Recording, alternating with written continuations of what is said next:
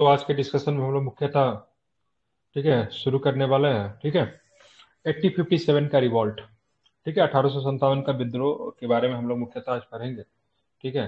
तो चलिए शुरू करते हैं। और यहाँ पे देखोगे अठारह के विद्रोह के कारण की बात करेंगे तो बहुत सारे कारण थे, ठीक है? सामाजिक कारण, आर्थिक कारण, राजनीतिक कारण। लेकिन जो तत्कालीन कारण जो बना था, चर्बी वाले कारतूस का प्रयोग बना था, ठीक है? जो कि एक तरह से आप इसको धार्मिक कारण से भी कनेक्ट कर सकते हो। ठीक है, कोई दिक्कत नहीं, क्योंकि चर्बी वाली कारतूस का प्रयोग न करने का जो कारण जो था, कहीं ना कहीं धार्मिक वजह से ही मतलब ये विद्रोह आपको देखने को मिले था, ठीक है? जो कि हिंदू और मुसलमान दोनों का हित की बात थी इसमें। बहरामपुर, जगह पड़ता पश्चिम बंगाल में, वहाँ पे उन्नीसवीं नेटिव इन्फेंट्री ने नई एनफील्ड राइफल का इस्तेमाल करने से इनकार कर दिया, फरवरी अठारह सौ सत्तावन में, विद्रोह कर दिया, ठीक है?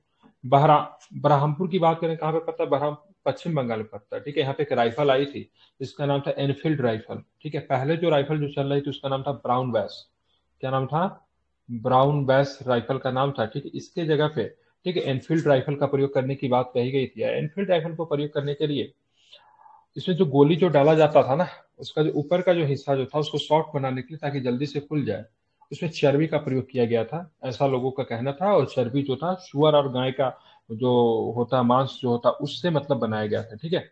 इस वजह से उसको मुँह से खींचना पड़ता था। तो इस वजह से मतलब काफ़ी लोग मतलब क्या थे? आहत हुए थे और उन्होंने इसका प्रयोग करने से इनकार कर दिया था। ध्यान में रखेंगे, ठीक है? तो उन्नीसवीं नेटिव इन्फेंट्री ने नई एनफील्ड राइफल का इस्तेमाल करने से इनकार कर दिया, फरवरी अठारह सौ सत्तावन में विद्रोह कर दिया। अब चलते हैं, वहाँ से हम लोग चलेंगे, बहरामपुर में ये विद्रोह सबसे पहले हुआ था।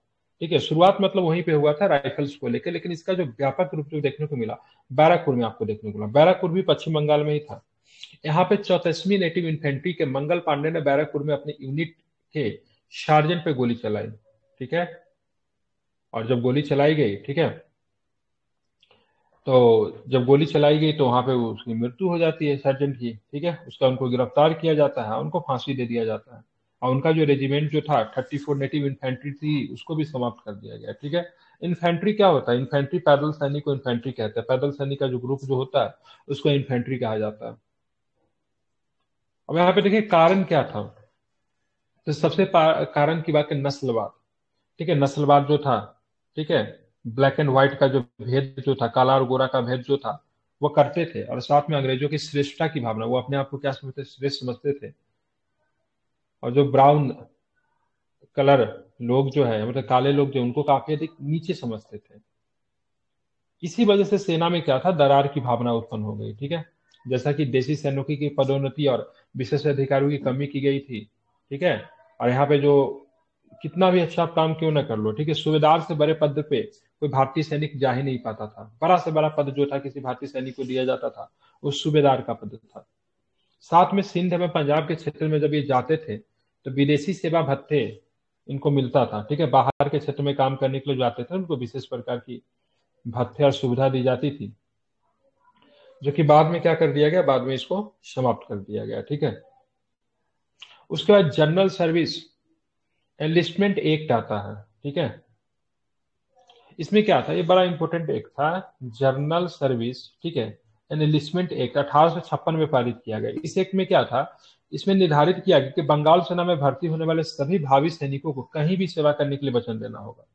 मतलब बंगाल के सेना में अगर कोई सैनिक अगर भर्ती होता तो उसको कहीं भी मतलब सेवा करना होगा। जैसे कि मान लीजिए उसको अफ़गानिस्तान भेज दिया जाता है, उनको म्यांमार भेज दिया गया लड़ने के लिए। तो म्यांमार वगैरह जाने के लिए क्या होता था? समुद्र को पार करना पड़ता था। ठीक है? और समुद्र को पार करना हिंदू धर्म में डेट टाइम माना जाता था से आपने मतलब अपने धर्म का उल्लंघन किया मतलब आपका धार्मिक रूप से आपके धर्म का मतलब भ्रष्ट हो जाना था, ठीक है?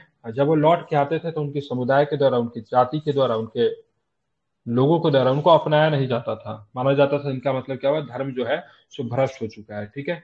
तो जनरल सर्विस एनलिस्टमेंट एक्ट जो था, इसके तहत जो बंगाल के जो डेट टाइम के जो सैनिक जो थे, उनको कहीं पे भी सेवा करने की बंधन में बाँध दिया गया, ठीक है? अगर आप आर्मी ज्वाइन करोगे तो आपको कहीं भी आपको सेवा देना पड़ेगा। दूसरा आर्मी की जो नौकरी जो थी ब्रिटिश के लिए काफ़ी अधिक फ़ायदेमंद थी। बहुत ही कम पैसे में एक लॉयल सैनिक उनको मिल जाता था। भारतीय भी नौकरी करना चाहते थे, क्योंकि डेट टाइम भुखमरी वगैरह की समस्या और गरीबी की समस्या बहुत ज़्यादा थी। तो आर्मी में जाने में कम से कम उनको एक सैलरी मिल जाता था। और खाने पीने की उनको दिक्कत नहीं होती थी, इसलिए बहुत सारे भारतीय भी जो थे आर्मी में शामिल होना चाहते थे। दोनों के लिए फ़ायदेमंद थी, लेकिन आर्मी के अंतर्गत जाने पर उनकी जो नीति जो थी, वो भारतीयों के प्रति काफ़ी अधिक नस्लवाद जैसी नीति थी, ठीक है? तो ये जो था एक कारण था। एक और भी कारण था, आर्थिक कारण भी था इसमें। किसानों पर भारी कर लगाया जाता था। उन्हें शुद्धकरों से भारी दरों पर कर्ज लेना पड़ता था। शुद्धकरों का किससे समर्थन प्राप्त था? तो ब्रिटिश कंपनी सरकार जो थी शुद्धकोरा का समर्थन करती थी। बाद में जब उनको कर्ज न चुकाया जाता था तो वो उनसे जमीनों से उनको बेदखल कर दिया जाता था। बाद में वो जो किसान जो थे, वो क्या हो गए? थे भूमिहीन हो गए। ठीक है? कारीगरों ने संरक्षण खो दिया और देसी शासक रईस आर्थिक दबाव में आ गए। अब अभी जो कारीगर जो थे, वो क्या करते थे? तो ये कारीगर जो थे राजा महाराजा के दरबार में रहते थे। लेकिन डॉक्ट्राइन ऑफ़ लैप्स अपनाया गया। ठीक है? तो डॉक्ट्राइन ऑफ़ लैप्स की वजह से क्या होता है ना? डॉक्ट्राइन ऑफ़ लैप्स क्या बोलते हैं हिंदी में और उसको? ठीक है राज्य हड़प की नीति जब अपनाई गई तो बहुत सारे हम्म। राज्यों रजवाड़ों का मतलब क्या चल गया? राज्य चला गया। तो जिसकी वजह से उनके दरबार में रहने वाले जो चित्रकार थे ठीक है कारीगर थे मूर्तिकार थे सबके सब मतलब क्या हो गए? बेरोजगार हो गए। ठीक है जो रईस वगैरह जो था वो लोग भी मतलब आर्थिक आर्थिक मतलब क्या बोलते हैं दबाव में आ गए। प्रशासन द्वारा वारंटों के लगा, लगातार इस्तेमाल के कारण जमींदारों ने अपनी ज़मीन भी खो दी। जमींदारों ने भी अपनी ज़मीन खो दी जिससे बहुत सारे देखिए जमींदार मुख्य रूप से अठारह के विद्रोह में शामिल नहीं हुए थे ठीक है? लेकिन कहीं कहीं के जमींदार ने इसमें भूमिका निभाई थी। वीर कुंवर सिंह क्या थे? वो जमींदार ही थे ना ठीक है? हालाँकि जमींदारों की इसमें सहभागिता नहीं थी। आपने ब्रिटिश की औद्योगिक नीति की बात करें तो भारतीय हस्तशिल्प में उस टैरिफ शुल्क था। अब भारतीय हस्तशिल्प जो ना, हाथों से तैयार किया जाता था, समय अधिक लगती थी तो ऑलरेडी वो महँगी होती थी। और ऊपर से इन पे और भी अधिक टैक्स लाद दिया गया तो वो काफ़ी अधिक महँगी हो जाती थी। और उसके बाद मतलब क्या होता है, जब वो अपना, जो अपना जो सामान जो लेकर आते थे उस पर किसी प्रकार की टैरिफ नहीं होती थी। दूसरी बार मशीनों से बनी होती थी, कि कहीं ना कहीं ब्रिटेन में आप देखोगे, अठारहवीं शताब्दी के आसपास आप देखोगे तो वहाँ पर औद्योगिक क्रांति की शुरुआत हो चुकी थी। ऊपर से जो बाहर से जो सामान आती थी बिकने के लिए भारत के बाज़ार में उन पर किसी प्रकार का टैक्स नहीं होता था तो सस्ता होता था। तो अपने सामान को इन्होंने क्या किया? आधुनिक उद्योगों को क्या किया? उसके विकास को बढ़ावा दिया, जो कि इनके द्वारा ही किया गया था। हमारे जो हस्तशिल्प उद्योग जो था, उसको हतोत्साहित किया गया। ठीक है? तो अपने उद्योग पे इन्होंने किसी प्रकार का परमिट नहीं लगा। परमिट जस्ट टाइप एक टैक्स होता है, जिसमें मान लीजिए आप किसी सामान को कहीं पे बाहर में जाके बेचेंगे ठीक है, या फिर अपने इधर बेचेंगे तो उस पर किसी ने गवर्नमेंट गवर्नमेंट का टैक्स होता था। दो रुपया का सामान खरीदे, तीन रुपया का भी सामान खरीदे उस पर टैक्स होता था। तो भारतीय सामान पर टैक्स अधिक लगाया गया और उन्होंने अपने सामानों पे क्या किया? टैक्स हटा दिया या फिर बहुत ही कम कर दिया। तो जिसके मामले में क्या हुआ ना, भारतीय सामान जो थे, वो ब्रिटिश सामान के तुलना में वो नहीं कर पाए, ठीक है कंपटीशन नहीं कर पाए, ठीक है। इस वजह से भारतीय सूती उद्योग की बात करेंगे या फिर कपड़ा उद्योग कह लीजिए, ये सब पूरी तरीके से बहुत पुरानी परंपरागत उद्योग थी ये सब पूरी तरीके से क्या हो जाती है? समाप्त हो जाती है, ठीक है? राजनीतिक कारण की बात करेंगे तो सहायक गठबंधन एक बहुत प्रमुख कारण के रूप में देखने को मिलता है। व्यक्तिगत सिद्धांत जिसको हम लोग डॉक्ट्राइन ऑफ़ लैब्स कहते हैं, ठीक है, ये भी एक प्रमुख कारण था, ठीक है? उसके बाद बात करेंगे प्रभावी नियंत्रण। ये सब जैसे, ये सारे के सारे क्या था? सहायक की बात करेंगे, सहायक गठबंधन जो कि बेलेजली ने शुरू किया था व्यापगढ़ जो था, डलहौजी के द्वारा शुरू किया गया था, ठीक है? इसको अलायंस बोलते क्या बोलते इसको? ठीक है? और ये आपका था डॉक्ट्राइन ऑफ़ लैब्स था, ठीक है? ये सब की सब विस्तारवादी नीति था, जहाँ पे कहीं ना कहीं ब्रिटिश साम्राज्य को अधिक से अधिक मतलब क्या करना था? बढ़ावा देना था। और जब ये सारे सहायक गठबंधन भी हो गया डॉक्ट्राइन ऑफ़ लैब्स भी हो गया, इनसे भी अगर इनका मन नहीं भरा तो इन्होंने मतलब ठीक है, एक नीति अपनाई जिसको बोलते थे कुशासन, ठीक है, कुशासन। मतलब हमारे यहाँ कोई बाहर का आदमी आके डिसाइड कर रहा है तो हमारा प्रशासन सही तरीके से चल रहा है या नहीं चल रहा है, ठीक है? तो इन्होंने हमारे ऊपर एक आरोप लगाया जिसको बोलते कुशासन का आरोप लगाता लगाया, ठीक है? जो कि वाजिद अली शाह, जो कि अवध के लोकप्रिय नवाब थे, काफ़ी जनता के बीच में लोकप्रिय थे। ठीक है, ध्यान में रखेंगे। तो अवध का विलय जो था अठारह सौ छप्पन में हो जाता है, ठीक है, कुशासन के आरोप में। और वहाँ का लोकप्रिय नवाब जो था वाजिद अली शाह, ठीक है, उनको क्या किया गया? हटा दिया गया, ठीक है। तो वाजिद अली शाह को क्या होता है? हटा दिया जाता है, ठीक है, ध्यान में रखेंगे, जो कि अवध के लोकप्रिय नवाब थे। इसको आपको ध्यान में रखना है, ठीक है। काफ़ी लोकप्रिय थे। इनको मतलब निर्वासित जीवन जीने के लिए कलकत्ता भेजा जाता है कहाँ भेजा जाता है? कलकत्ता इनको निर्वासित जीवन जीने के लिए इनको भेजा जाता है, ठीक है? अब प्रशासनिक कारण भी आपको देखने को मिलता है, ठीक है? कंपनी के अंतर्गत ही आप देखोगे, कंपनी के जो प्रशासन जो था, अभी ब्रिटिश गवर्नमेंट डायरेक्ट रूल नहीं कर करे इसमें कंपनी कह रहा हूँ, ठीक है? कंपनी का प्रशासन में आप देखोगे, बहुत अधिक भ्रष्टाचार था। खास करके न्यायालय की बात करेंगे, पुलिस और भूमि अभिलेखों जैसे निचले स्तर पर तो खूब मतलब क्या था करप्शन आपको देखने को मिलता है। ब्रिटिश शासन के चरित्र ने भारतीयों की नज़र में उन्हें विदेशी और पराया रूप प्रदान किया, जिसे अनुपस्थित संप्रभुता की भावना भी पैदा हुई, ठीक है? अब यहाँ पे आप देखो, जो भी ब्रिटिश जो यहाँ पे रहते थे ना ठीक है, उनको भारत से कोई प्यार नहीं था। भारत में आते थे करप्शन करते थे, काफ़ी पैसा कमाते थे। और उनको छोरा भी समय अगर मिलता था ना तो सीधे लंदन भाग जाते थे। मतलब यहाँ से मतलब सीधे सीधे भारत की संपत्ति को मतलब क्या कर रहे थे? पलायन कर रहे थे लंदन की तरफ़, ठीक है? मतलब भारत का उनको कुछ खास पसंद नहीं था, बस अपने अर्निंग के लिए रहते थे, जब भी उनको मौका मिलता था वो लंदन चले जाते थे। देखते से देखेंगे भारतीय, विदेशियों ने मतलब भारत को कभी भी अपना समझा नहीं, पराया समझा, ब्रिटिश ने स्पेशली और जब भी उनको मौका मिलता था, भारत से संपत्ति को ब्रिटेन भेजने में कभी भी कोई कमी नहीं दिखाते थे, ठीक है? ये एक प्रशासनिक कारण था। इसमें भ्रष्टाचार एक बहुत बड़ा कारण था। कंपनी के तो बड़े बड़े अधिकारी की बात करेंगे, भ्रष्टाचार से जब हेस्टिंग्स ने जब यहाँ पे शुरुआत किया था तो लॉर्ड हेस्टिंग्स से महाभियोग का आरोप लगाया गया था, ठीक है वर्क के द्वारा। काफ़ी करप्ट था तो कंपनी के बड़े से लेकर छोटे स्तर पर करप्शन आपको देखने को मिलता था, ठीक है? और इतना अर्निंग करने के बाद भी, कंपनी कभी भी ब्रिटिश गवर्नमेंट को जब संसद में जब इसे रिपोर्ट लिया जाता था, अपने आप को हमेशा बोलती थी हम नुकसान में ही। ठीक है? मतलब इतना बड़े संसाधन का हेर फेर करने के बाद भी हमेशा अपने आप को नुकसान में दर्शाती थी कंपनी ठीक है? तो इसलिए ब्रिटिश सरकार भी इनसे काफ़ी अधिक तंग था, तंग थी। तो इसलिए अठारह का विद्रोह उनको कारण मिल गया। इसलिए अठारह में कंपनी को समाप्त कर देते हैं, ठीक है? और डायरेक्ट भारत पर ब्रिटिश रूल को लागू कर देते हैं।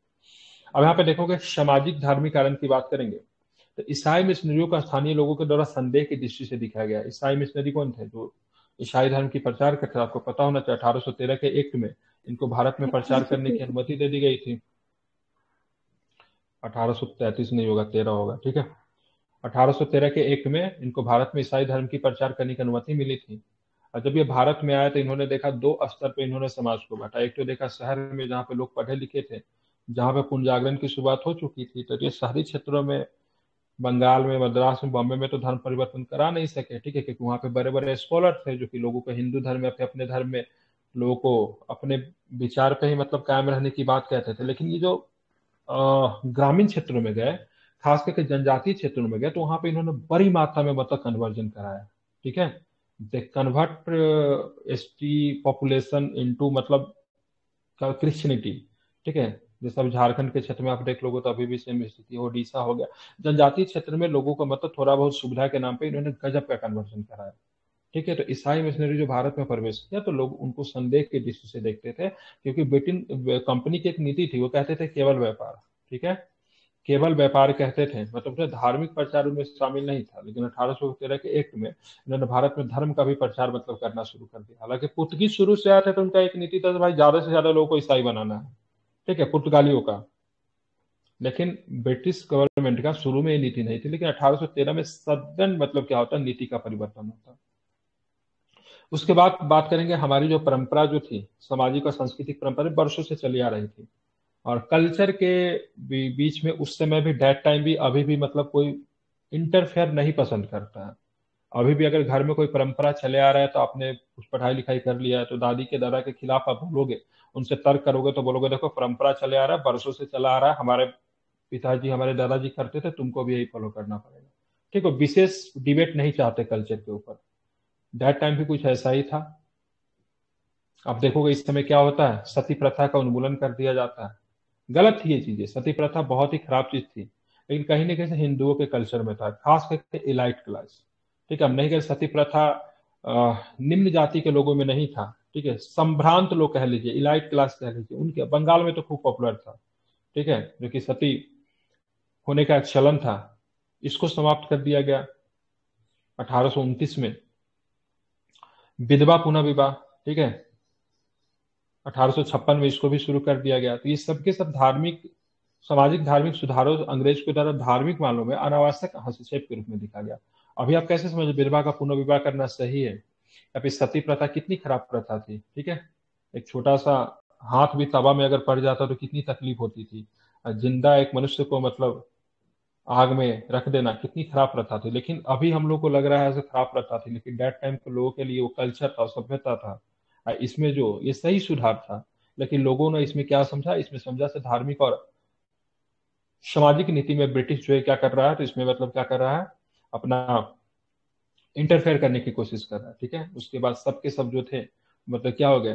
खिलाफ हो गए, ठीक है? ध्यान रखेंगे अब विधवा पुनर्विवाह तो इतना खराब था। अब देखिए कि एक बंगाल का एक जमींदार था। उसकी साठ वाइफ थी, ठीक है? सिक्सटी वाइफ ठीक है? उसकी उम्र ऑलरेडी सत्तर पचहत्तर के आसपास थी, ठीक है? उसको सबसे छोटी लड़की, उसकी छोटी पत्नी जो थी, वो आठ या नौ साल की थी मात्र। मतलब समझ लो कभी भी उस बुज़ुर्ग से कभी मिली भी नहीं होगी। लेकिन वो जब पचहत्तर साल, सत्तर साल की उम्र में था, जब उसकी मृत्यु हो जाएगी तो उसको भी जीवन भर, ठीक है, विधवा के रूप में ही रहना पड़ेगा। और अभी जैसे विधवा लोग रहती है, जैसे अभी क्या, किसी के साथ ऐसा हो ना, लेकिन मान लीजिए किसी का पति का देहांत होगा तभी नॉर्मल लाइफ व्यतीत कर लेती है ऐसा नहीं था उस समय पूरा वस्त्र धारण करना पड़ता था, सिर को मुंडवा दिया जाता था, उसका एक अलग कमरा होता था, उसको खाना भी अलग दिया जाता था, वो फैमिली में घुल मिल नहीं सकती है, किसी से बात नहीं कर सकती है, कलर वस्त्र नहीं पहन सकती, बाहर नहीं जा सकती। तो अभी के विधवा से, उस समय के विधवा का कंपेरिजन मत कीजिए इट्स टोटली डिफरेंट ठीक है? बहुत अलग होता था, किसी सांस्कृतिक उत्सव में, किसी सामाजिक उत्सव में, किसी घर का कोई त्योहार वगैरह में भी शामिल नहीं हो सकती थी। ठीक है? यहाँ तक कि खाना वगैरह, कपड़ा वगैरह सब कुछ उसका अलग हो जाता था। तो इस तरह की चीज़ें थी। तो विधवा पुनर्विवाह सती प्रथा बहुत ही खराब प्रथा थी। हालाँकि ब्रिटिश ने इसका उन्मूलन किया। तो लोगों ने समझा से भाई ये ब्रिटिश जो है अब जो है ना हमारे घर में घुसने की कोशिश मतलब कर रहा है, ठीक है?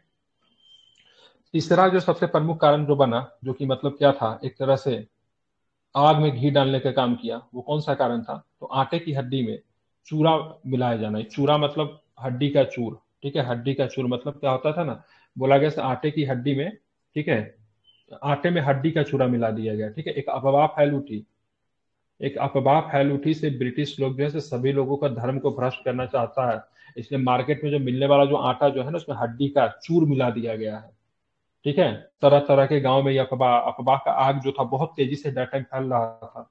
क्योंकि अभी की तरफ़ फैक्ट चेकर तो कोई था नहीं। अभी भी तो देखते हैं व्हाट्सअप फेसबुक पे इसी तरह की न्यूज़ आती है। तो बोला कि आटा जो होता है ना, खाने वाला जो आटा जो होता है, जिसकी रोटी बनती है, उसमें हड्डी का मतलब क्या मिला दिया गया? चूर मिला दिया गया, ताकि सभी लोगों का धर्म भ्रष्ट हो जाए। मुस्लिम लोगों के लिए, ठीक है, गाय काफ़ी पवित्र मानी जाती थी। सॉरी हिंदू लोगों के लिए गाय काफ़ी पवित्र थी। और मुसलमानों के लिए सुअर जो था, उसी तरह हेट का कारण था। और दोनों का चूरा मिलाया जाना है, काफ़ी लोगों में रोष भटा ठीक है? साथ में मतलब कारतूस जो था, ठीक है, जिसको मुँह से जो उसको हिंदी फ़िल्म में आपने देखा होगा, बम वगैरह फेंकने के लिए उसको मुँह से खींचते थे, ठीक है। उसी तरह का कारतूस भी था, जो नया जो राइफल जो आया था एनफील्ड राइफल ब्राउन वेस्ट की जगह पे तो उसको कारतूस का ऊपर का हिस्सा काफ़ी सॉफ्ट हुआ करता था। लगता था जैसे चमड़ा का बना हुआ। रियलिटी क्या थी? कुछ लोग कहते नहीं थे, कुछ लोगों ने बोला से हाँ है, क्योंकि सुअर और गाय के मांस के चमड़ा से काफ़ी सस्ता में बन जाता था वो, ठीक है। बाकी उसको बनाने का काम कॉस्टली होता था इसलिए। तो कारतूसों में गोमांस से बनने से हिंदुओं में रोष था और सूर्य की चर्बी से मुसलमानों में रोष था। यह अफवाह जो फैली। तो सिपाहियों ने धार्मिक, सांस्कृतिक संवेदना को भड़का दिया।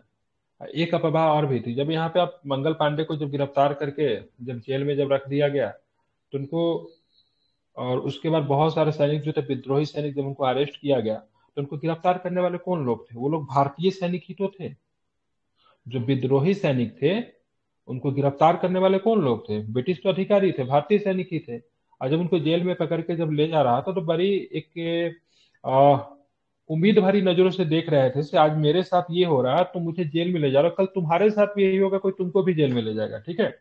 और उसके बाद जब सैनिक लोग जो थे, दिन भर काम करते थे, शाम में जब मार्केट में निकलते थे, उस दिन भी जब वो मार्केट में गए, बहुत सारे विद्रोही सैनिक को जेल में रखने के बाद तो लोगों ने उन पर काफ़ी हंसा कि तुम कैसे हो जो तुम्हारे ही साथी को इस जुर्म को लेकर, इस जुर्म मतलब छोटे से कांड के लेकर तुम्हारे साथ ऐसा बिहेव किया गया, फांसी तक दे दिया गया और जेल में बंद कर दिया गया, तुम लोग को खून नहीं खोल रहा तो बाज़ार की घटना ने काफ़ी अधिक मतलब क्या किया, इनका मूड बदला। जब वो बाज़ार से जब लौट के आते हैं मतलब रिलैक्स करने के लिए जाते थे, चाय वगैरह पीने के लिए बाज़ार में जाते थे तो इन्होंने मतलब ग्रुप बना के क्या किया, हथियार को लूट लिया, सभी जगह पे आग लगा दिया। तो उससे कहीं ना कहीं से आ, मामला थम गया था लेकिन बाजारों की घटना ने इसको काफ़ी टूल देने का काम किया। अब ये सैनिक थे सबसे सब एक डेट तय किया गया था इस तारीख को हम लोग विरोध करेंगे उसके बाद बैरकपुर से विरोध होता उसका मेरठ सेंटर बनता मेरठ से दिल्ली नज़दीक था और सबका प्लान होता था दिल्ली चलेंगे दिल्ली जो था दिल्ली चलेंगे लाल किला पे कब्जा करेंगे और बहादुर शाह ज़फ़र से मिलेंगे ठीक है? और दिल्ली पहुँचते भी सुबह सुबह साढ़े चार, पाँच बजे के आसपास मतलब सूर्योदय भी नहीं हुआ रहा था तब जाके दिल्ली पहुँच जाते मेरठ से दिल्ली काफ़ी पास में पड़ता है, ठीक है। उस समय गर्मी का समय था और अभी आप देखोगे तो रोजा का समय था, ठीक है। तो बहादुर शाह ज़फ़र जो थे सेकेंड वो रोजा खोलने के लिए सुबह सुबह उठे थे। वो शहरी की कुछ खाना होता है, ठीक है। तो उन्होंने देखा से काफ़ी सैनिक लोग जो है द्वार पे खड़े हैं, ठीक है। तो पहले तो समझ नहीं पाया एक्चुअली में हुआ क्या। लेकिन उनके जो सुरक्षा करने की जिम्मेवारी जो थी, कुछ ब्रिटिश सैनिकों का था, उनको मार दिया गया। फिर लाल किला और बहादुर शाह ज़फ़र भी ब्रिटिश के संरक्षण में था ना तो उनका सुरक्षा करने की ज़िम्मेदारी था। ब्रिटिश जब वहाँ पे मारे गए तो पूरे लाल किला पे इनका कब्जा हो गया और डायरेक्ट मतलब क्या होता बहादुर शाह ज़फ़र से मिलते हैं, इनका ऑफ़र देते हैं। तो आप हमारे नेता बन जाइए। बहादुर शाह ज़फ़र जानते थे से मतलब नेता नहीं बनना चाहते थे, लेकिन अगर बहादुर शाह ज़फ़र डेट टाइम अगर नेता बनने से इनकार करते तो विद्रोही सैनिक उनकी भी हत्या कर देते। हम नेता बनाने से बहादुर शाह ज़फ़र को फ़ायदा किया। हालाँकि बहादुर शाह ज़फ़र की बात करेंगे तो विद्रोह के सबसे, ठीक है, कमज़ोर करी बनकर साबित होते हैं। लेकिन बहादुर शाह ज़फ़र को नेता बनाने से इनको ये फ़ायदा हुआ तो बहादुर शाह ज़फ़र को बोला गया भारत के जितने भी, ठीक है, जमींदार है, राजे हैं, महाराजे हैं तो जिनके साथ में ब्रिटिश ने गलत किया, सबको आप पत्र लिखो। मतलब अगर अभी तक ये एक लड़ाई किसका था? सैनिकों की लड़ाई थी। लेकिन बहादुर शाह ज़फ़र के पत्र लिखने के बाद ठीक है लड़ाई को इन्होंने मतलब क्या कर दिया विद्रोह की संख्या दे दिया और इसको मतलब भारतीय भारतीय भारतीयता स्तर पर मतलब इसको शुरू कर दिया। हालाँकि बहादुर शाह ज़फ़र का बात तो, तो ये लोग नहीं मानते थे ठीक है बस इनको नेता रखा था ताकि बहादुर शाह ज़फ़र क्या था प्रतीक था। ठीक है घर का बुज़ुर्ग क्या होता है गार्जियन होता है लेकिन देखिएगा उसको छोटा छोटा बच्चा भी उनका बात नहीं मानता है ठीक है। वही था बहादुर शाह ज़फ़र का बात उत नहीं मानते थे वास्तविक नेतृत्व की बात करें बख्त खान के हाथों में था।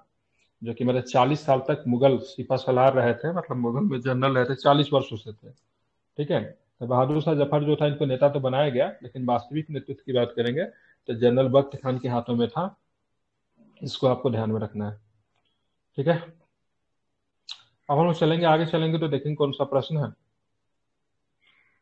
तो आप देखोगे तो यहाँ पे कुछ महत्वपूर्ण आपको देखा, ध्यान में लगता है। यहाँ पे कुछ कुछ प्रश्न आपका इंपोर्टेंट यहाँ पे दिख जाएगा नेता का नाम ठीक है? लखनऊ से बात करेंगे नेता का नाम कौन था? लखनऊ से नेता कौन थे? तो बेगम हज़रत महल थे ठीक है? अवध कह लीजिए ठीक है? अवध का क्षेत्र था ये ठीक है? अठारह सौ छप्पन में अवध का अधिग्रहण कर लिया गया था। उसके बाद उनकी नाबालिग बेटा का नाम बिजली कादी था ग्यारह बारह साल का बच्चा था इसको शासक बना दिया गया। और अवध की जो नायिका जो थी ठीक है? महक परी प्यार से इनको बोला जाता था बेगम हज़रत महल ने। नेतृत्व को संभाला, ठीक है? फैजाबाद से करेंगे तो मौलवी अहमदुल्ला। बहुत बड़े शत्रु थे मौलवी अहमदुल्ला, ठीक है? ध्यान रखें, मौलवी अहमदुल्ला को ब्रिटिश ने सबसे बड़ा अपना शत्रु बनाया। इसमें इनाम भी था, आई थिंक पचास हज़ार रुपया तक का इसमें इनाम की घोषणा की थी। पचास लाख नहीं, पचास हज़ार, ठीक है? अब दो चार को सुनना आगे ही याद की रहती है, ठीक है? कानपुर की बात करेंगे तो कानपुर से बाजीराव द्वितीय वही अठारह सौ सत्रह अठारह में मराठा साम्राज्य को समाप्त कर दिया गया था।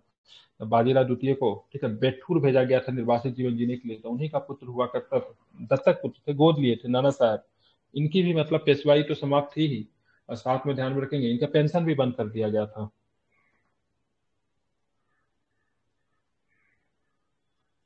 ठीक है, ध्यान रखें, इनकी पेशवाई भी मतलब क्या थी, बंद कर दिया गया था, ठीक है।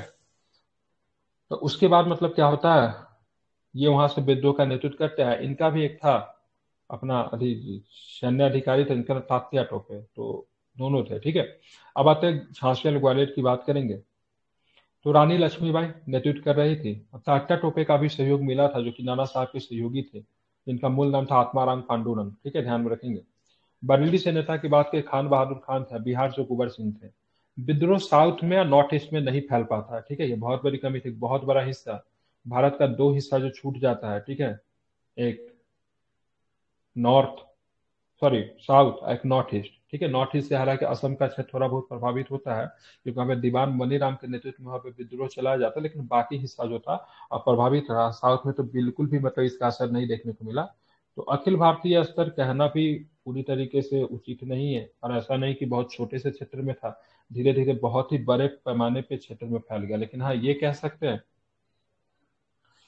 ठीक है? ये हम ज़रूर कह सकते हैं मतलब इसमें सभी समुदाय का योगदान था। महिला था, महिला थे, पुरुष थे, सैनिक थे, कृषक थे। अब कृषक लोग क्या कर रहे थे? जो किसान थे, मजदूर वर्ग थे, सामान्य जनमानस थे क्या कर रहे थे?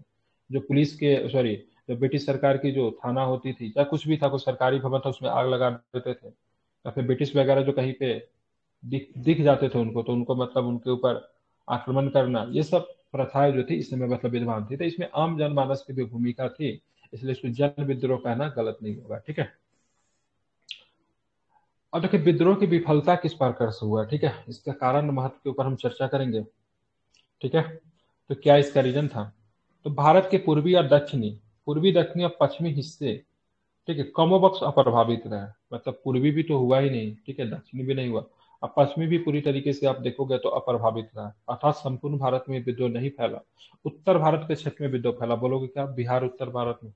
उत्तर, बरेली, झांसी, सब उत्तर प्रदेश का इलाका है, देख रहे हो? सबके सब यूपी में पड़ता है। दिल्ली भी नॉर्थ इंडिया में तो यही सब हिस्सा हिस्सा जो था बहुत अधिक प्रभावित रहा। बाकी तीन दिशा जो था प्रभावित ही नहीं हुआ, ठीक है? अधिकांश भारतीय शासक अंग्रेज़ों के प्रति वफादार रहे, जैसे कि ग्वालियर का सिंधिया जो था, ठीक है? और इंदौर के होलकर जो था, सबके सब किसके थे? ब्रिटिश के मतलब क्या थे? वफादार बने रहे। ग्वालियर के सिंधिया के बारे में तो ऐसा कहा जाता था कि सिंधिया ने भी अगर उस समय विद्रोह कर, कर दिया जो होता तो ब्रिटिश साम्राज्य को से बोरिया बिस्तर पैक करके भागना पड़ता ठीक है? लेकिन सिंधिया ने किसे समर्थन किया? तो सिंधिया ने मतलब समर्थन जो था किसे किया था? ध्यान में रखेंगे ठीक है? ब्रिटिश का मतलब क्या किया? समर्थन किया। यहाँ तो अपने सैनिक भी दिए और साथ में पैसे से भी समर्थन किए। बड़े बड़े जमींदार और साहूकार जो थे ठीक है? ध्यान रखेंगे वह दूर रहे क्योंकि उनका मानना था अंग्रेज़ों के अधीन में ही उनकी हितों की रक्षा है। अब बिल्कुल सही भी था। जमींदार जो थे, साहूकार जो थे किन के पैसे लूट के बने थे? ठीक है, श्रमिक के, गरीबों के पैसे लूट कर बने थे। तो ब्रिटिश गवर्नमेंट जाने के बाद इनकी तो खैर नहीं होती थी। ये लोग भी मतलब क्या थे? ब्रिटिश के समर्थन देने रहे थे रहे थे। हालाँकि जमींदारों को लूटा भी गया था। अठारह के विद्रोह के साहूकार को भी लूटा गया था। ठीक है? टिकारी स्टेट एक था, वहाँ से इन लोगों ने साठ हज़ार की समथिंग लूट लिया था। ठीक है? अब देखेंगे हमें विद्रोह की सामंती रूढ़िवादी प्रकृति ने शिक्षित मध्यम वर्ग को अलग कर दिया, ठीक है? अब सबसे बड़ा विद्रोह, कोई भी विद्रोह अगर सफल अगर होता तो उसमें, ठीक है, मध्यम वर्ग, ठीक है, जिसको यूरोप की भाषा में बात करें तो बुजुर्गा क्लास कहते हैं, उनकी बहुत बड़ी भूमिका होती है। और शिक्षित वर्ग के भी बहुत, बिना शिक्षित वर्ग के कोई भी विद्रोह सफल नहीं हो सकता। तो फ्रांस की क्रांति, रूस की क्रांति, ये सब क्यों सफल हुआ? तो फ्रांस की क्रांति में वाल्टेयर, रूसो, ये सब थे, ठीक है रूस की क्रांति में भी आप देखोगे तो मैक्सिमम गोरकी हो गए, ठीक है, और भी लियो टॉल्स्टा हो गए, इन सब के लेखों से काफ़ी लोग जो थे प्रभावित हुए थे। जबकि अठारह की जो क्रांति का जो रूप जो था, विद्रोही की सामंती रूढ़िवादी प्रकृति ने शिक्षित मध्यम वर्ग को मतलब क्या रखा, इनसे मतलब दूर रखा, ठीक है। तीसरा कारण की बात करोगे तो आप अलग, दूसरे कारण की बात करोगे तो ये जो हथियार, जो विद्रोही सैनिक जो हथियार जो प्रयोग कर रहे हैं तो अभी भी बर्छी, तीर, भाला, पुराने हथियारों का प्रयोग कर रहे थे, ठीक है। जबकि ब्रिटेन के पास क्या थी? अत्याधुनिक हथियार के हथियार थे। इस वजह से अभी टिक नहीं था ठीक है? अब यहाँ पे ब्रिटिश के पास कुछ अधिकारी बहुत अच्छे थे जैसे कि आउटरम थे हेनरी हैवलॉक थे ठीक है? और एक और भी था लखनऊ वगैरह से कौन नेतृत्व कर रहा था। हम्म, ठीक है? एक सबसे अधिक इम्पेटेटर उसका था। कौन? बेगम हज़रत मान अब ब्रिटिश की बात कर रहा हूँ ठीक है? आउटकम हो गया हैवलॉक हो गया एक का। जेम्स? ठीक है उसका नाम मैं कुछ भूल रहा हूँ ठीक है? नील नहीं नील का बहुत अधिक रोल नहीं था उसका नाम था आउटकम हम्म, जिस तरीके से रोल किया ना उसी तरह से उसका भी रोल था मतलब बड़ा इंपॉर्टेंट था वो ठीक है? उसने कई जगह से नेतृत्व किया था मैं भी दिया होगा नीचे। इन सब के सामने जो था विद्रोही का जो कमांडर जो थे ना, असाधारण इस क्षमताओं के खिलाफ, ठीक है, विद्रोही हमलों की प्रकृति जो थी असंगठित थी। इनमें कोई लीडरशिप की कमी था। बहुत सारे लीडर थे कुछ संगठित नेतृत्व नहीं था, ठीक है? इस वजह से मतलब बहुत अधिक दिक्कतें आपको देखने को मिली, ठीक है? तो मतलब ये इनका जो नेता जो था मतलब युद्ध का नेता कह लीजिए फिर सेनापति कह लीजिए, इनके सामने भी ये लोग कहीं से भी टिक नहीं पाए, ठीक है? लीडरशिप की कमी थी। और दूसरी बात, ब्रिटिश जो सेना जो थी, जो ट्रेंड थी ठीक है? अब ब्रिटिश सेना क्या थी? मुख्य रूप से ट्रेन थी ना? क्योंकि भारत के जो जनमानस भाग ले रहे थे, उनको युद्ध लड़ाई से कोई मतलब नहीं था। तो ट्रेन सेना सेना के सामने भी नहीं टिक पाया। ठीक है? विद्रोही को संगठित करने के लिए कोई एकीकृत विचारधारा नहीं था। ये विचारधारा बहुत मैटर करता है। गांधी जी ने जो आंदोलन चलाया तो क्या होता है? एक साल में हम क्या करेंगे? स्वराज की प्राप्ति करेंगे। बोला से एक साल में स्वराज मिलेगा, भारत को अंग्रेज़ों से मतलब क्या करेंगे? आज़ादी दिलाएँगे। ठीक है? लेकिन यहाँ पे कोई एकीकृत विचारधारा नहीं था। सबके अपने अपने अपने अपने उद्देश्य थे, ठीक है? जैसे बहादुर शाह ज़फ़र को मुगल शासक फिर से बनना था? रानी लक्ष्मीबाई जी का, ठीक है? उनका झांसी का स्टेट चला गया तो उनको मिल जाना चाहिए था। नाना साहब का पेंशन बंद था, उनको मिलना चाहिए था, ठीक है? कुबर सिंह जी का, ठीक है? जमींदारी चली गई थी, वो उनको मिल जाना चाहिए था। मतलब ऐसा कुछ नहीं था कि देश को आज़ाद कराना। अगर सबकी मिल जाती तो सब अपने अपने तरह से खुश होते, फिर भारत के जनमानस का क्या हाल होता? और दूसरी बार अगर बात करेंगे तो भविष्य के दृष्टिकोण में कोई समन्वय नहीं था। फ्यूचर किस प्रकार से चलेगा, इनके बारे में कोई भी समन्वय नहीं था। अब क्या फिर से भारत में मुगल सत्ता को स्थापित कर दिया जाएगा? मुगलों ने जो हिंदुओं के साथ और सिखों के साथ जुर्म किया था तो क्या भारत के सारे समुदाय क्या मुगल शासकों को फिर ब्रिटिश की जगह पे स्वीकार करेंगे क्या? और इसमें आप देखोगे तो सिख सैनिकों सिख सैनिकों ब्रिटिश जो थे, भड़काने में भी कायम हो गए। जब लाल किला पे जब कब्जा जब ये कर रहे थे तो वहाँ पे मतलब एक नारा दिया गया तो मतलब यही मुगल है जिसने गुरु तेग बहादुर और गुरु अर्जुन देव की हत्या करवाई थी। तो क्या सिख सेना इस लड़ाई में, ठीक है, मुगलों का साथ देगा, सिख सेना भड़क उठे, उनको अपनी पूर्वज याद आने लगा, उन्होंने जो मारा काटा बहुत ही बुरी तरीके से विद्रोही सैनिकों के तो सिख सैनिक ने बहुत एक मार्शल कॉम की भूमिका निभाई। और सिख सेना सिख सेना ठीक है गोरखा दोनों ने मिलकर मतलब क्या था, विद्रोही सेना को गाली मुजर की तरह, गागर, क्या बोलते गाजर मुड़ी की तरह काटा स्पेशली सिख सेना। क्योंकि जब उनको जब उनको बताया गया, भड़काया गया ब्रिटिश से डिवाइडेड रूल की पॉलिटिक्स चली गई तो यही मुगल जो था, जो कि तुम्हारे पूर्वजों को, गुरु तेग बहादुर, गुरु अर्जुन देव की हत्या की थी, ठीक है? गुरु गोविंद सिंह की भी हत्या में एक तरह से देखेंगे तो इन्हीं लोग का रोल था क्योंकि गुरु गोविंद सिंह के दोनों पुत्र को इन्होंने दीवार से सुनवा दिया था।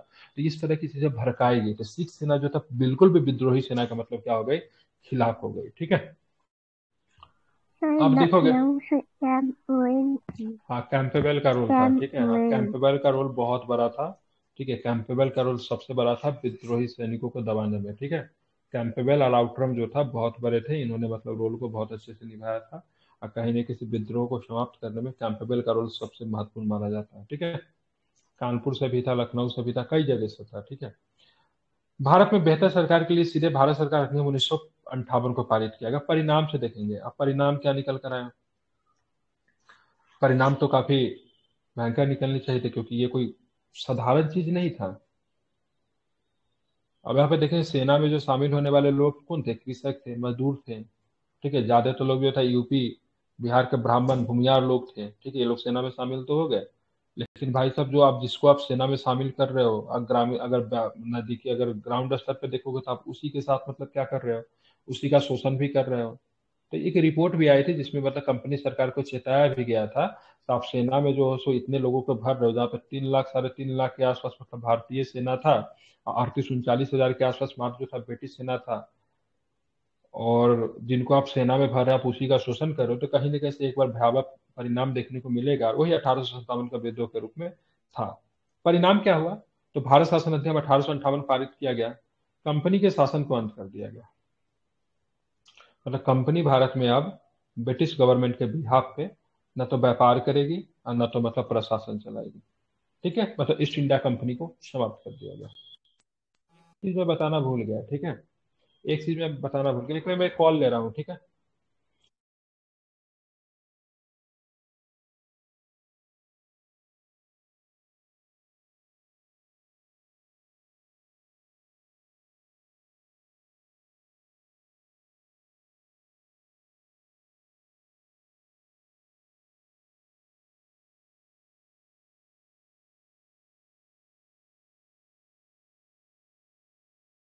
हाँ तो एक एक अफवाह देखिए, उस समय अफवाहों का बाज़ार जो था ना, बड़ा अधिक गर्म था।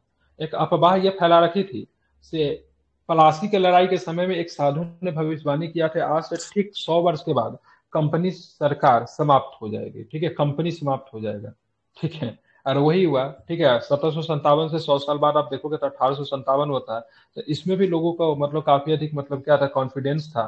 तो किसी ने किसी से कंपनी को क्या कर देना है? समाप्ति कर देना है। ठीक है तो इसको बोलते अफवाहों का बाज़ार जो था, काफ़ी अधिक गर्म था। तो इसको लेकर भी लोग काफ़ी अधिक कॉन्फिडेंट थे। ठीक है? महारानी विक्टोरिया को ब्रिटिश भारत का संप्रभु घोषित किया गया। अतः महारानी विक्टोरिया ब्रिटिश भारत की संप्रभु शासिका एक तरह से हो गई। कंपनी शासन को अंत कर दिया गया। ईस्ट इंडिया कंपनी से सीधे प्राशंसिक नियंत्रण छीनने के लिए राज्य सचिव की नियुक्ति की गई। ठीक है?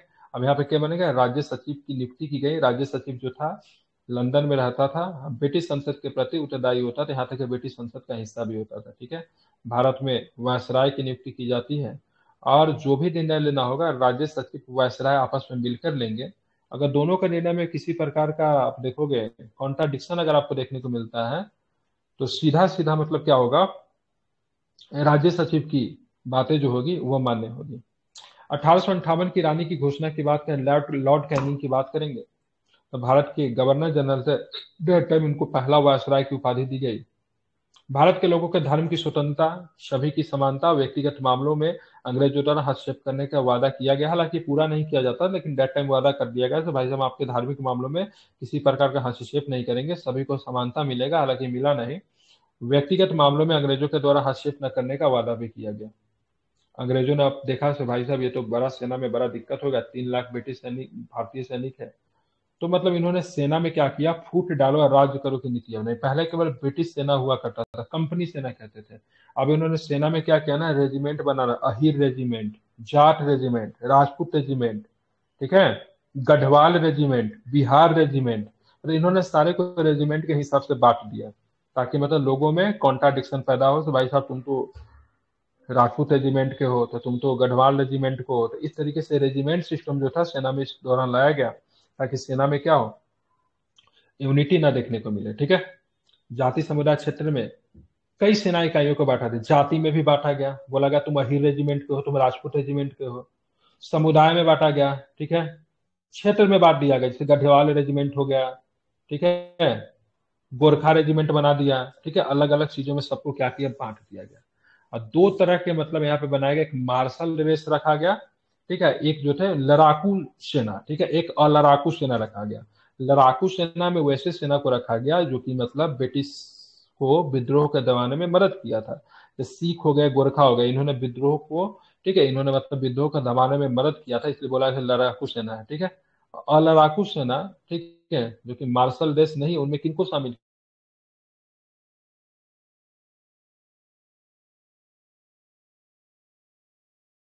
आवाज़ बिहार बंगाल की सेना की बात करेंगे, जिन्होंने विद्रोह में खूब भूमिका निभाई थी, उनको शामिल किया गया, ठीक है? अजय लड़ाकू सेना में जो मार्शल में शामिल किया गया, पंजाब के, सिख थे, नेपाल के गोरखा थे, उत्तरी पश्चिमी सीमा प्रांत के जो थे, क्या पठान थे, ठीक है? तो इन लोगों ने मतलब क्या किया था? ब्रिटिश को विद्रोह में साथ दिया था तो इनको पुरस्कृत किया गया, इनको सेना में अच्छे पद दिए गए, ठीक है? जो जो बिहार और बंगाल के सेना जो थे, जिन्होंने मतलब क्या किया था? ब्रिटिश के खिलाफ थे, उनको मतलब क्या किया गया? सेना में उनकी संख्या को कम कर दी गई ठीक है? सेना का एकीकरण किया गया अठारह सौ इकसठ में ठीक है? एक सेना के एकीकरण की कौन सी कमीशन आई थी ठीक है? कंपनी यूरोपीय सैनिकों के ताज की सेवाओं में ले ले गए ठीक है? कौन सी समिति? नी आयोग। नील आयोग ली आयोग ठीक है? ली आयोग। ली नहीं ली नहीं था।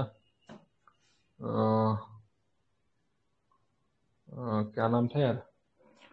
भूल रहा हूँ, ठीक है? एक कमीशन बनी गई थी, ठीक है? सेना के लिए इनका काम था सैन्य सुधार करना, ठीक है? ठीक है? आप गूगल करेंगे तो मिल जाएगा। गूगल पे चेक करके बताए उसका नाम था, भूल रहा हूँ एक मैं बता देता हूँ, रुकिए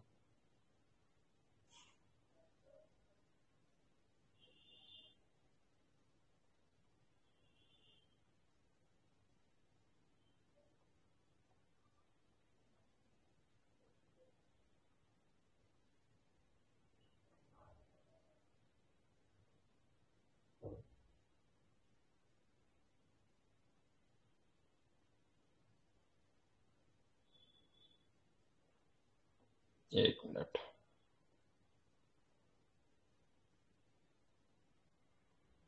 पील आयोग बोलते हैं नील आयोग नहीं बोलते ठीक है? कौन था पील कमीशन बनाया गया था, ठीक है? ठीक है, पील कमीशन था, ठीक है?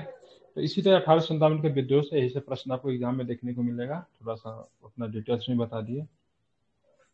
इसको आप लोग क्या रखेंगे? ध्यान में इसको सभी लोग रखेंगे, ठीक है?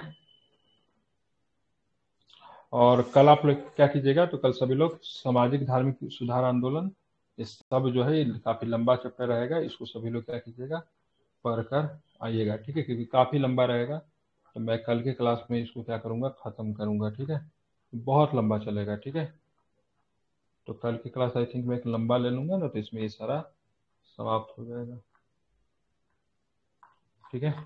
या फिर दो क्लास में इसको कोशिश करेंगे समाप्त करने का। इसको कभी लोग, सभी लोग क्या कीजिएगा पढ़ कर आइएगा। अठारह के विद्रोह से संबंधित हम एक सेट आप लोग को देंगे। तो देखिएगा सेट बना के बनता है कि नहीं बनता है। ठीक है तो मैं थोड़ी देर में ग्रुप में एक सेट सबमिट कर दूँगा, ठीक है? एटीन फिफ्टी सेवन से संबंधित। क्योंकि एक प्रश्न आपको अठारह की क्रांति से रहेगा, और मेंस में भी एक प्रश्न रहेगा अठारह की क्रांति से सात से आठ नंबर वाले में, ठीक है? तो थोड़ी देर में ग्रुप में एक सेट सबमिट करूँगा, उसको आप लोग बनाइएगा, ठीक है? मिलते हैं फिर।